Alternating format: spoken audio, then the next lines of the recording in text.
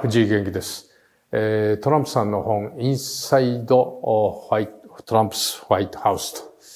えー、いうことですけども、まあ、この翻訳本を今回出しましたので、えー、この本についてのお話、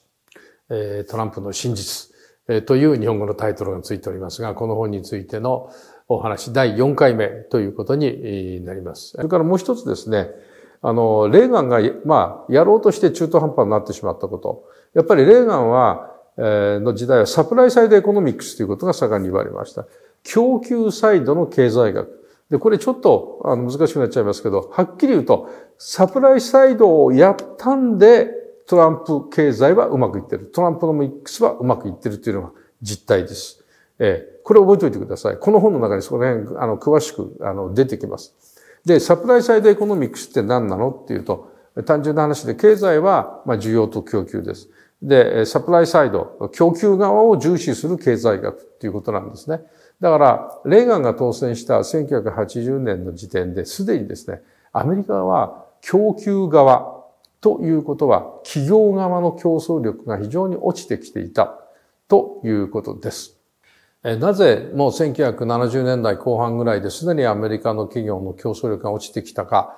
というとですね、まあ、文化的問題として言えば、やっぱアメリカがちょっと世界一の経済だっていうんで、その王座にあぐらをかいていたと、ちょっと安心しすぎてですね、ヨーロッパや日本のことを甘く見ていたということもあるでしょうが、具体的に言うと二つあって、第一にあまりに税金が高い。法人税が高い。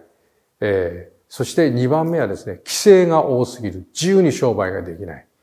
ですから新しく起業しようと思ってもお金の問題じゃないんですね。様々な中小零細企業までいじめるようなですね、そのレギュレーションがですね、えー、入ってきて、政府の規制によって商売ががんじがらめにされてる。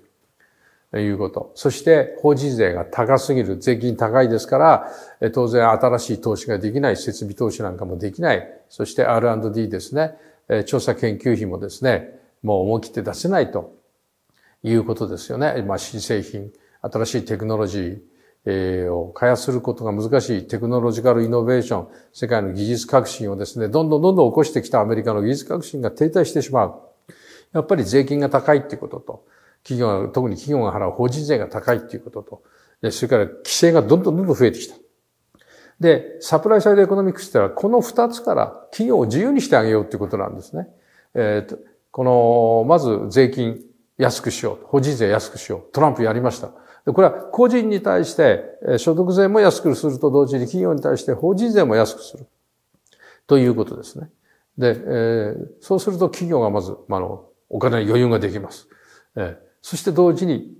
レギュレーションですね。規制を緩和していこうじゃないか。まあ、規制緩和っていうのも、これも、あの、レーガンの時からもあったんですけれども、特にトランプ政権は、新しい規制を一つ作るなら、古い規制を二つ必ず廃止するっていうですね、いわばハウスルールといいますか、トランプ政権ルールを作ったんです。それでもって、これはですね、大企業だけじゃないんですよね。小さな中小零細の企業もですね、非常にその様々な環境規制だなんだ、労働条件だなんだってもういじめられる。でですからそういったものをなくしていくということで、企業も起こしやすくなるし、中小零細企業も経営がやりやすくなるということなんですね。で、これを着実にやったんでですね、この4年間でアメリカ経済ものすごく良くなった。もう史上最低の失業率。失業率3.5%ということはほとんどもう働きたいと思ってる人は全部働けてる状態だったんですね。これはまあコロナウイルスがチャイナから来てアメリカ経済を襲うまでは絶好調だったわけです。そして、黒人の失業率史上最低、そしてヒスパニックの失業率史上最低から、まあ、アジア系の人たちの失業率も史上最低。そしてもって、700万の新しい雇用を作り、トランプ政権はですね、そして60万の製造業の仕事を新しく雇用を作ったもう大成功だったんです。それは、あの、今までもですね、その、えー、逆にサプライサイドじゃない、ディマンドサイド、需要サイドですね、の刺激する政策はずっとやっていたわけです。需要。で、これは減税して国民の個人、消費者のもとにお金が集まってくる。あるいは福祉政策もそうですね。福祉によってですね、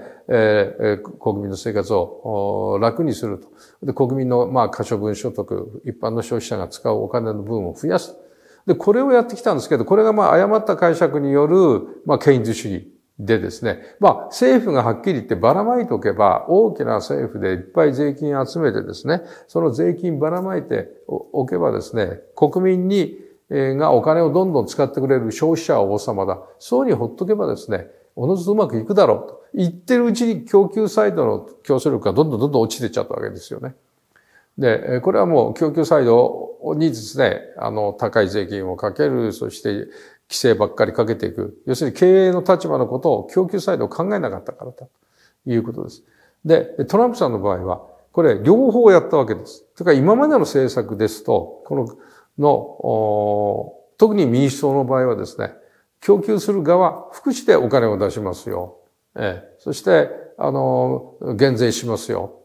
楽になります。使うお金あります。使う使うお金あっても、それに見合ってですね、供給サイドが強くならないとどうなるかというと、お金が海外に流出しちゃうんですよね。需要はありますと、国内で。需要、国内の企業がその供給できないから、じゃあ物はどこから買うの？安い外国から買いますということになっちゃうんですね。で、トランプはそれに保護主義を組み合わせてですね、えー、そして、そして企業の方のサプライサイド、こっちの方もですね、えー、優遇する、税金安くする、規制なくする。レーガンさんの時はこの保護主義を導入しなかったんですね。えー、だいぶ税金も安くしました。規制緩和もだいぶ努力をしましたけれども、だから貿易赤字減らなかったんですね。アメリカで景気対策を打てば打つほど逆に貿易赤字が増えてしまう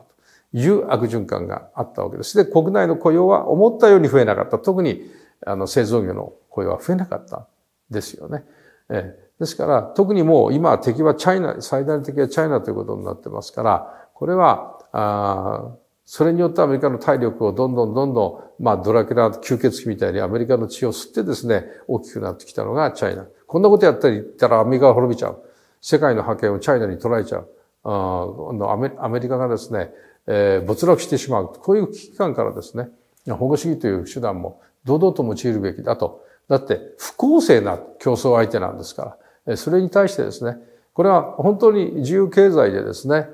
やって資本主義を本当に受け入れてるならばお互い平等な条件で競争できるわけだけど、そうじゃない国ですから、チャイナは。共産党共産党の独裁国です。ですからそんな国には躊躇なくやっぱ保護主義手段を用いなきゃダメだ。から一般的にもですね、やはりアメリカの雇用を守るために保護主義っていうものを躊躇すべきではないという、それとサプライサイドをうまく組み合わせた。それから減税なんかによる国民の経済刺激ですね。需要の方もやった。これを3つやったからですね、特にサプライサイドが、の経済がですね、まあ、あの、レーガンの時は、口だけで終わってしまったようなところがあるんだけども、これが本当にうまく、たった4年ですけども、この、トランプ経済政策で、そこら辺がうまく機能した。今までの伝統的な政策は、その、まあ、需要サイドばっかり面倒を見てきた。そうじゃなくて、サプライサイド、企業側のですね、供給側も、の面倒も見るっていうか、そっちも刺激する政策をうまくいった。そして、えそれをさらに、保護主義というものでですね、えしっかり、しっかりとですね、えこの政策でお金が国内で循環するようにしたということで、失業率はどんどん下がる。そして株価は史上最高値と。いうことになったわけです。